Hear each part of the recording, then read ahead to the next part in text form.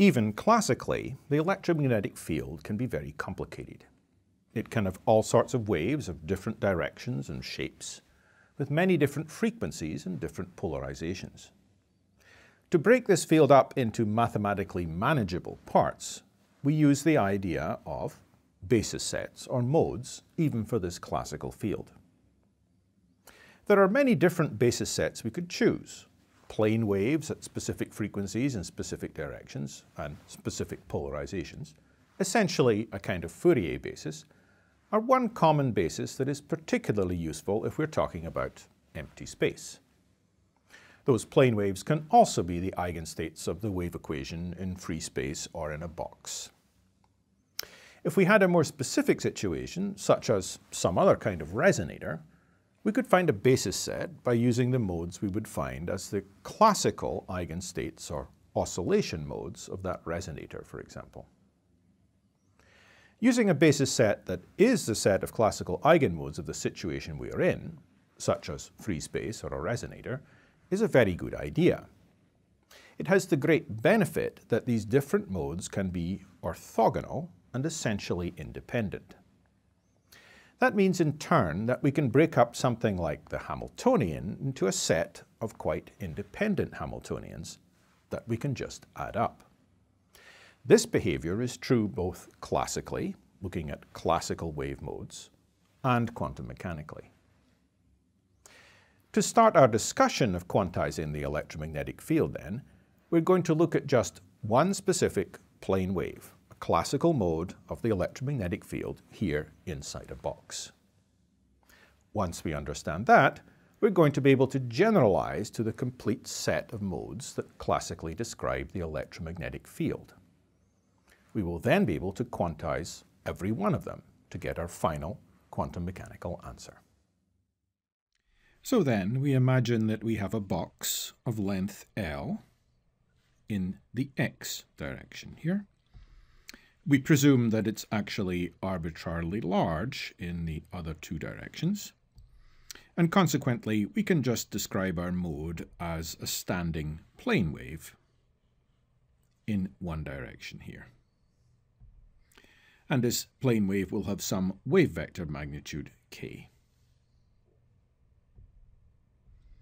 We expect that the electric field, which is of course a vector, is going to be perpendicular to the x direction, as both the electric field, E, and the magnetic field, B, are indeed transverse to the direction of propagation in a simple plane wave. We're going to choose our mode for convenience just to be polarized in, say, the z direction. So the electric field will be pointing in the z direction, and it will have some amplitude, therefore, which we'll call Ez. That's the magnitude of the field, the electric field, in that z direction. The electric field in the other two directions, the y direction here and obviously the x direction, is taken to be zero. We also expect that the magnetic field B is going to be perpendicular to the E field. And we're going to choose it, therefore, to be polarized in the y direction with an amplitude that we'll call by. And of course, zero B field in the other two directions.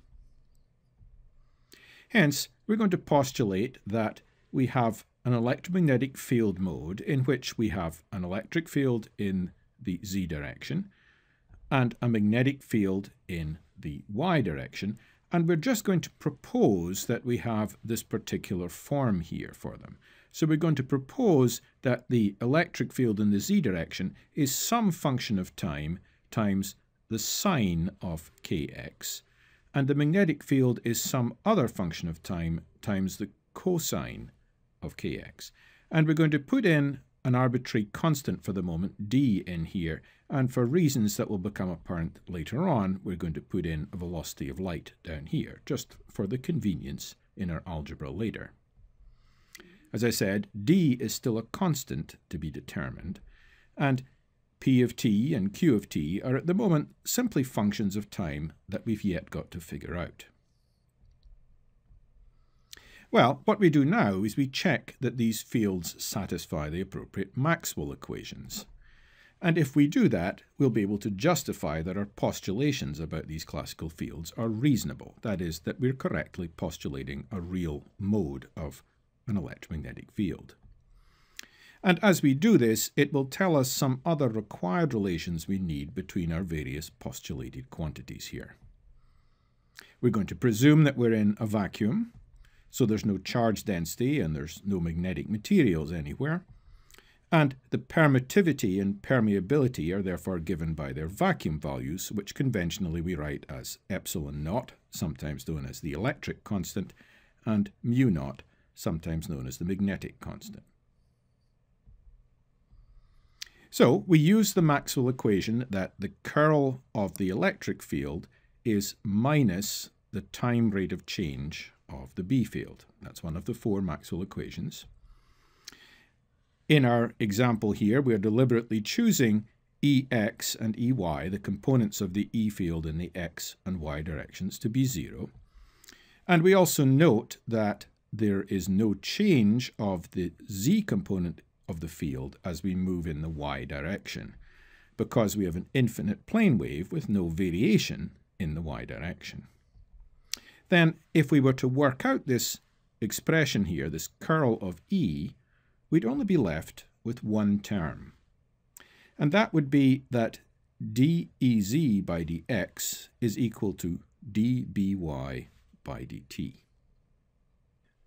Similarly, using the Maxwell equation curl of B is equal to epsilon naught mu naught times dE by dt, and noting that bx and bz are both 0 by choice, and partial dby by dz is also equal to 0, all of which follow because we have an infinite plane wave with no variation in the z direction, then we're left with this result. dby by dx is equal to epsilon naught mu naught dez by dt. So with the choices that we made, that EZ was something we would write in this form, BY was something we would write in this form, then using a result we've just deduced from Maxwell's equations, dby by dx is equal to epsilon naught mu naught dEz by dt. That gives us the requirement then, taking dby by dx in here and dEz by dt in here, that minus kq d over c sine kx, that's what we get from here, is equal to epsilon naught mu naught dp by dt times d sine kx. That's what we get from here. Well, we use the relation that epsilon naught mu naught is equal to 1 over c squared, a standard result in electromagnetism. Then what we're left with, comparing these two equations, is that dp by dt is equal to minus omega q. So we found that our postulated form for the mode of the radiation field, with this form for Ez and this form for By, does indeed satisfy the two Maxwell equations, the curl of E equation and the curl of B equation, provided we have the relations that dq by dt is omega p and dp by dt is minus omega q. And that gives us relations between our time-varying amplitudes p and q. Well, differentiating dq by dt equal to omega p with respect to time t once more that is going to require us, of course, to work out dp by dt here, but we also know what dp by dt is. We know from the relations we just worked out that it's minus omega q. Then we have that d2q by dt squared is equal to minus omega squared q, which means that the electromagnetic mode does indeed behave exactly like a harmonic oscillator, with an oscillation frequency, an angular frequency, omega, because this describes something that's oscillating at frequency omega.